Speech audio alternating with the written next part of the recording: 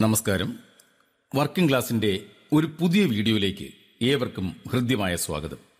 Uniform നിർബന്ധമാക്കിയിട്ടുള്ള ജീവനക്കാർക്ക് വർഷത്തിലൊരിക്കൽ നൽകി വരുന്ന യൂണിഫോം അലവൻസ് അതുപോലെ തന്നെ ഫുട്വെയർ അലവൻസ് എന്നിവ എങ്ങനെയാണ് പ്രോസസ് ചെയ്യുന്നതെന്നാണ് ഈ വീഡിയോയിലൂടെ പറയാൻ ഉദ്ദേശിക്കുന്നത്.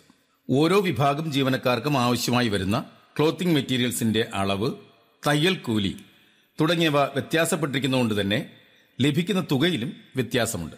ഉദാഹരണമായി നഴ്സിംഗ് ഓഫീസർ വിഭാഗത്തിൽപ്പെട്ട ജീവനക്കാർക്ക് അതായത് പഴയ സ്റ്റാഫ് നഴ്സ് ആ വിഭാഗത്തിൽപ്പെട്ട ജീവനക്കാർക്ക് അയ്യായിരം രൂപയാണ് യൂണിഫോം അലവൻസായി ലഭിക്കുന്നതെങ്കിൽ ഫാർമസിസ്റ്റിന് രണ്ടായിരത്തി ഇരുന്നൂറ് രൂപയെ യൂണിഫോം അലവൻസ് ആയിട്ട് ലഭിക്കുന്നുള്ളൂ. അതുപോലെ തന്നെ പബ്ലിക് ഹെൽത്ത് നഴ്സുമാർ നഴ്സിംഗ് അസിസ്റ്റന്റ് ഹോസ്പിറ്റൽ അറ്റൻഡന്റ് തുടങ്ങിയ വിഭാഗം ജീവനക്കാർക്ക് രണ്ടായിരത്തി എഴുന്നൂറ് രൂപയാണ് അലവൻസ്. ഫുട്വെയർ അലവൻസ് അഞ്ഞൂറ് രൂപയാണ്. അത് എല്ലാ വിഭാഗം ജീവനക്കാർക്കുമില്ല. പാർട്ട് ടൈം സ്വീപ്പേഴ്സ് അറ്റൻഡന്റ് തുടങ്ങിയ ചില വിഭാഗം ജീവനക്കാർക്കാണ് അത് ലഭിക്കുന്നത്. ഇനി മറ്റുള്ള കാര്യങ്ങൾ പ്രോസസ് ചെയ്യുന്നതിനൊപ്പം പറയാം. നമുക്ക് നേരെ സ്പാർക്കിലേക്ക് കടക്കാം. ഇപ്പോൾ ഞാനുള്ളത് ഒരു സ്ഥാപനത്തിന്റെ എസ്റ്റാബ്ലിഷ്മെന്റ് ക്ലർക്കിന്റെ ലോഗിനിലാണ്. ഇതൊരു ഗവൺമെന്റ് ഹോസ്പിറ്റലാണ്. ഇവിടെ തീർച്ചയായും യൂണിഫോം ആവശ്യമുള്ള ഒട്ടനവധി ജീവനക്കാരുണ്ട്. നമുക്ക് അവരുടെ യൂണിഫോം അലവൻസും ഫുട്വെയർ അലവൻസും പ്രോസസ്സ് ചെയ്യാം. സാലറി മാറ്റേഴ്സിൽ പ്രോസസ്സിംഗ് എന്നുള്ള സ്ഥലത്ത് താഴേക്ക് വരുമ്പോൾ ഇവിടെ അതർ അലവൻസ് നോക്കുക. സാങ്ഷൻ ഓർഡർ ഡീറ്റെയിൽസ് നമ്മൾ എന്ത് ചെയ്യുന്നു സാങ്ഷൻ ഓർഡർ ഡീറ്റെയിൽസിൽ ക്ലിക്ക് ചെയ്യുകയാണ്. സാങ്ഷൻ ഓർഡർ ഡീറ്റെയിൽസ് നമ്മൾ എന്റർ ചെയ്യാൻ പോവുകയാണ്. ഡിപ്പാർട്ട്മെന്റ് സെലക്ട് ചെയ്യുക. ഓഫീസ് സെലക്ട് ചെയ്തു. അലവൻസ് ടൈപ്പ് അലവൻസ് ടൈപ്പ് ശ്രദ്ധിക്കുക. യൂണിഫോം അലവൻസ് നമ്പർ തേർട്ടീൻ ആണ് യൂണിഫോം അലവൻസ് ആയിട്ട് നമ്മൾ സെലക്ട് ചെയ്യേണ്ടത്. ഇവിടെ ഒരു യൂണിഫോം അലവൻസ് വേജസ് ഉണ്ട് വൺ സെവന്റി അത് ഈ സ്ഥാപനത്തിൽ ബാധകമല്ല. ഇവിടെ യൂണിഫോം അലവൻസ് ഉള്ളത് യൂണിഫോം അലവൻസ് തേർട്ടീൻ എന്ന് പറയുന്ന ഈ ഒരു ഹെഡിൽ മാത്രമാണ് ഇവിടെ യൂണിഫോം അലവൻസ് മാറിക്കൊടുക്കാൻ കഴിയുക. അപ്പോൾ യൂണിഫോം അലവൻസ് അതിനുശേഷം ഓർഡർ നമ്പർ നമ്മുടെ ഓഫീസിലെ ഒരു ഓർഡർ നമ്പരാണ് ഞാനിത് പതിനഞ്ച് ബാർ രണ്ടായിരത്തി ഇരുപത്തി നാല് എന്ന ഒരു നമ്പർ കൊടുത്തു. സാങ്ഷൻ ഡേറ്റ് ഇന്നത്തെ ഡേറ്റ് കൊടുക്കുന്നു. ഇരുപത് ഒന്ന് രണ്ടായിരത്തി ഇരുപത്തി നാല് ഇനി ജിയോ നമ്പർ ആൻഡ് ഡേറ്റ് ആണ്. ഓർഡർ നമ്പർ നമുക്കറിയാം. നമ്മുടെ പേര് വിഷന്റെ ഓർഡർ നമ്പറാണ് അതിനുശേഷം എംപ്ലോയിയുടെ ഡീറ്റെയിൽസ് ആണ് നമ്മൾ കൊടുക്കുന്നത്. നമുക്കറിയാം ഒരു ഹെഡിലുള്ള യൂണിഫോം അലവൻസ് ആവശ്യമുള്ള മുഴുവൻ എംപ്ലോയീസിനെ നമുക്ക് എന്ത് ചെയ്യാം? സെലക്ട് ചെയ്യാം. ഞാനിവിടെ ഒരു എംപ്ലോയിയെ സെലക്ട് ചെയ്തു. അതൊരു ഫാർമസിസ്റ്റാണ് ഇവിടെ ഫ്രം ഡേറ്റ് നമുക്ക് ഈ പ്രോസസ്സ് ചെയ്യുന്ന ഡേറ്റ് തന്നെ കൊടുക്കാം. ഇല്ലെങ്കിൽ ഈ മാസത്തെ ആദ്യത്തെ ഡേറ്റും കൊടുക്കാം. ഞാൻ ഈ പ്രോസസ്സ് ചെയ്യുന്ന ഡേറ്റ് തന്നെയാണ് കൊടുക്കുന്നത്. Twenty one two thousand twenty four to date അത് തന്നെ നമ്മൾ റിപ്പീറ്റ് ചെയ്യുന്നു. Twenty one two thousand twenty four amount നമുക്കറിയാം ഫാർമസിസ്റ്റിന്റെ amount two thousand two hundred ആണ്.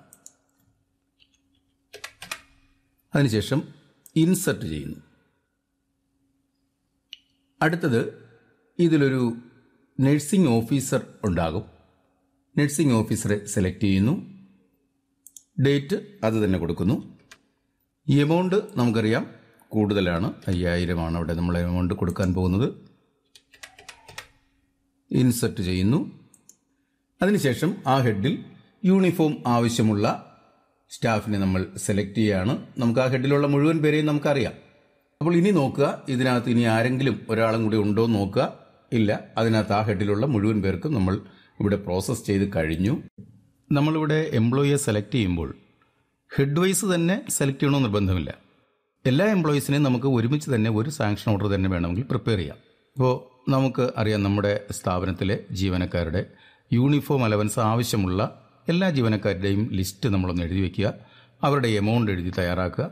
അതിനുശേഷം എല്ലാവരെയും ഒരുമിച്ച് വേണമെന്നുണ്ടെങ്കിൽ ഇവിടെ നമുക്ക് സെലക്ട് ചെയ്യാം. ഞാനിവിടെ ഇത് പറഞ്ഞു തരുന്നതിനുള്ള സൗകര്യത്തിന് വേണ്ടിയിട്ട് ഒരു ഹെഡ് മാത്രം ഡീറ്റെയിൽസ് കൊടുക്കുന്നു മാത്രമേ ഉള്ളൂ.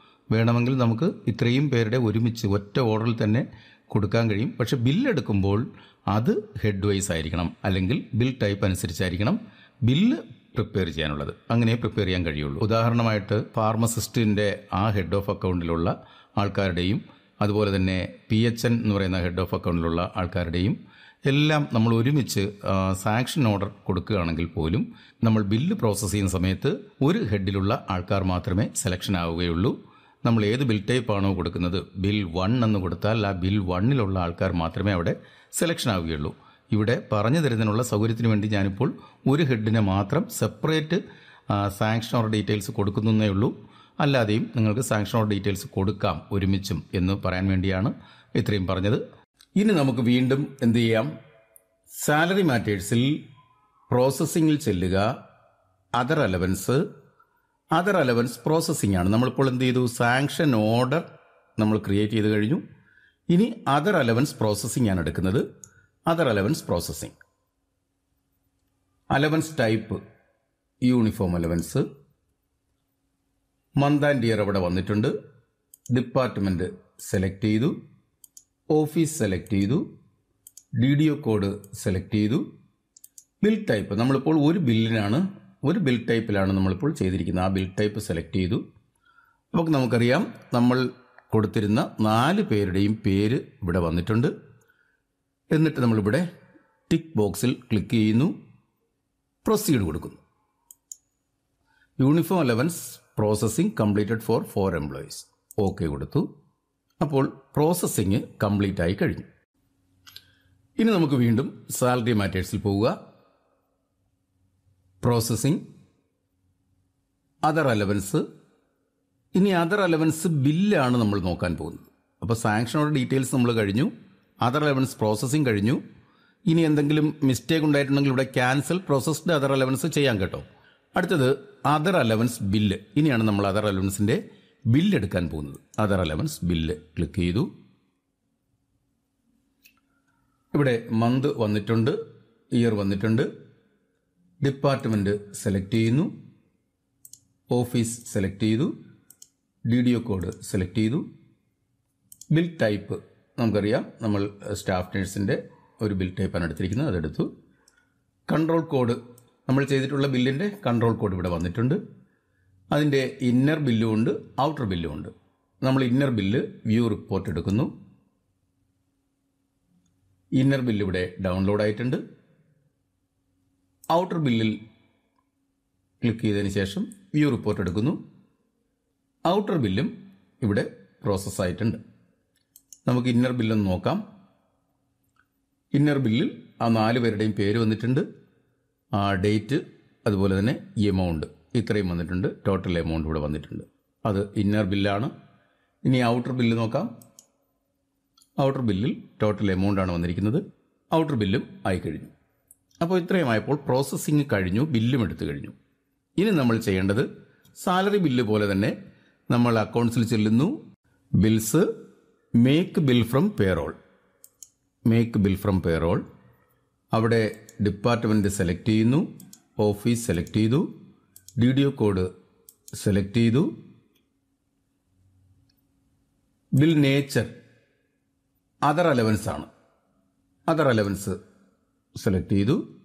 അതിനുശേഷം സെലക്ട് ബിൽ നമ്മളിപ്പോൾ ഒരു ബില്ലേ ചെയ്തിട്ടുള്ളൂ. അതുകൊണ്ട് ആ ബില്ല് നമ്മൾ സെലക്ട് ചെയ്യുന്നു. Pay bill head of account എല്ലാം അവിടെ വന്നിട്ടുണ്ട്. മേക്ക് ബില്ല് കൊടുക്കുക. Do you want to proceed yes ഇങ്ങനെ വരുമ്പോൾ ഇവിടെ ഒരു മിസ്റ്റേക്ക് സാധാരണഗതിയിൽ വരാറുണ്ട്. അത് മറ്റൊന്നുമല്ല ഈ കാണുന്ന ഹെഡ് ഓഫ് അക്കൗണ്ട് ഇവിടെ ഡിഫോൾട്ടായി കിടക്കുന്ന ഹെഡ് ഓഫ് അക്കൗണ്ട് ഒരിക്കലും നമ്മൾ പ്രോസസ്സ് ചെയ്ത ബില്ലിന്റെ ഹെഡ് ഓഫ് അക്കൗണ്ട് ആയിരിക്കണമെന്നില്ല. അങ്ങനെ ആവാറില്ല. അതിന് കാരണം ഈ ഇവിടെ ഉള്ള ഹെഡ് ഓഫ് അക്കൗണ്ട് നമ്മുടെ സാലറിയുടെ ഹെഡ് ഓഫ് അക്കൗണ്ടാണ് എന്നാൽ നമുക്കിത് യൂണിഫോം അലവൻസ് ആയതുകൊണ്ട് ചെറിയൊരു വ്യത്യാസമുണ്ട്. ഇവിടെ പൂജ്യം ഒന്നിന് പകരം പൂജ്യം അഞ്ചായിരിക്കും വരുന്നത്. അപ്പോൾ അത് നമുക്ക് നോക്കുന്നതിന് നമുക്ക് നമ്മുടെ ഔട്ടർ ബില്ല് ഇപ്പോൾ പ്രോസസ്സ് ചെയ്ത് വെച്ച ഔട്ടർ ബില്ലൊന്ന് നോക്കിയാൽ മതിയാകും. ഔട്ടർ ബില്ലിൽ ആ ഹെഡ് ഓഫ് അക്കൗണ്ട് ഇവിടെ കാണിച്ചിട്ടുണ്ട്. പൂജ്യം ഒന്ന് പൂജ്യം അഞ്ച് ആണ് വന്നിരിക്കുന്നത്. നമ്മൾ ആ ഹെഡ് ഓഫ് അക്കൗണ്ടാണ് എന്ത് ചെയ്യേണ്ടത്? ഇവിടെ എൻട്രി ചെയ്യാനുള്ളത്.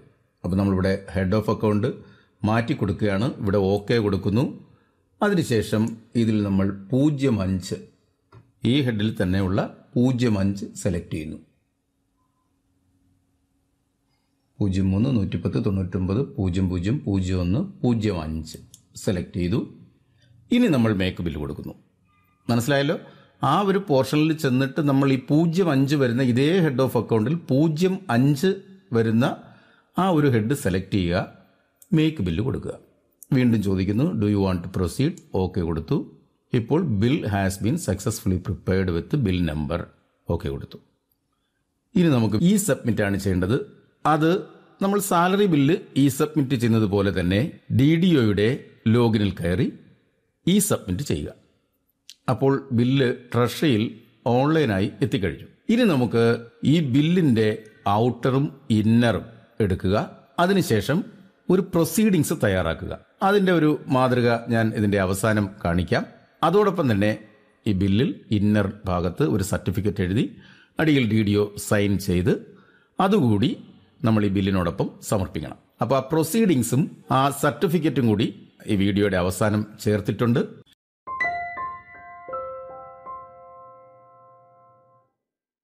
ഇനിയുള്ളത് ഫുട്വെയർ അലവൻസ് ആണ്. അതും ഇതുപോലെ തന്നെ അലവൻസിന്റെ പേര് മാത്രം മാറ്റി കൊടുക്കുന്നു എന്ന് മാത്രമേ ഉള്ളൂ. അലവൻസ് ടൈപ്പ് നമ്മളിവിടെ ഫുട്വെയർ അലവൻസ് ആണ് കൊടുക്കുന്നത്. ഫുട്വെയർ അലവൻസ് നോക്കുമ്പോൾ രണ്ട് ഫുട്വെയർ അലവൻസ് ഇവിടെ ഉണ്ടാകും. ഇവിടെ ഫുട്വെയർ അലവൻസ് ഇത് നമ്മുടെ റെഗുലർ സ്റ്റാഫിന്റെ ഫുട്വെയർ അലവൻസ് പ്രോസസ്സ് ചെയ്യുന്നതിനുള്ള ഹെഡാണ് പതിനാറ്. എന്നാൽ പി ടി എസിന് അല്ലെങ്കിൽ പാർട്ട് ടൈം കണ്ടിജന്റ് സ്റ്റാഫിന് വേണ്ടിയിട്ട് നമ്മൾ ഫുട്വെയർ അലവൻസ് പ്രോസസ്സ് ചെയ്യുകയാണെങ്കിൽ അത് വേജസ് എന്ന് പറയുന്ന ഈ നൂറ്റി അൻപത്തി അഞ്ചായിരിക്കണം അവിടെ സെലക്ട് ചെയ്യേണ്ടത്. ഇത് മാത്രം നമ്മൾ ഓർത്തിരിക്കുക. ഹോസ്പിറ്റൽ അറ്റൻഡന്റ് ഗ്രേഡ് ടുവിന് നമ്മൾ ഫുട്വെയർ അലവൻസ് പ്രോസസ്സ് ചെയ്യുമ്പോൾ ഈ പതിനാറ് സെലക്ട് ചെയ്യുക. പി ടി എസിന് ഫുട്വെയർ അലവൻസ് സെലക്ട് ചെയ്യുമ്പോൾ ഈ നൂറ്റി അൻപത്തി അഞ്ച് സെലക്ട് ചെയ്യുക. അതെല്ലാം സെലക്ട് ചെയ്ത് പഴയതുപോലെ തന്നെ ഓർഡർ എല്ലാം കൊടുത്ത് നമുക്ക് ഫുട്വെയർ അലവൻസ് പ്രോസസ്സ് ചെയ്യാൻ കഴിയും. ഇതെല്ലാം കഴിഞ്ഞതിന് ശേഷമാണ് നമ്മൾ ബില്ല് പ്രിന്റ് എടുത്ത് എ ത്രീ പേപ്പറിൽ രണ്ട് സൈഡിലായിട്ടാണ് നമ്മൾ ബില്ല് പ്രിന്റ് എടുക്കാനുള്ളത്. അതിന്റെ ഇന്നർ സൈഡിലാണ് നമ്മൾ നേരത്തെ പറഞ്ഞ സർട്ടിഫിക്കറ്റ് എഴുതാനുള്ളത്. സർട്ടിഫിക്കറ്റ് എഴുതി ചേർത്ത് ആണ് നമ്മൾ കൊടുക്കേണ്ടത്. അതിനോടൊപ്പം ഒരു പ്രൊസീഡിങ്സും വെക്കണം. അത് രണ്ടും ഞാനിവിടെ ചെയ്തിട്ടിട്ടുണ്ട്. അതിപ്പോൾ ഞാനതിന്റെ പി ഡി എഫ് നിങ്ങൾക്ക് ഇതിനകത്ത് ഉൾക്കൊള്ളിക്കാം. അതോടുകൂടി ഈ വീഡിയോ ഇവിടെ അവസാനിക്കുകയാണ്. എന്തെങ്കിലും സംശയം ഉണ്ടെങ്കിൽ നിങ്ങളത് കമൻസിലൂടെ എഴുതി ചോദിക്കുക. അതിന്റെ മറുപടി തരുന്നതായിരിക്കും. അപ്പോൾ വീഡിയോ ഇഷ്ടമായെങ്കിൽ ഒന്ന് ലൈക്ക് ചെയ്യുക കമന്റ് ചെയ്യുക.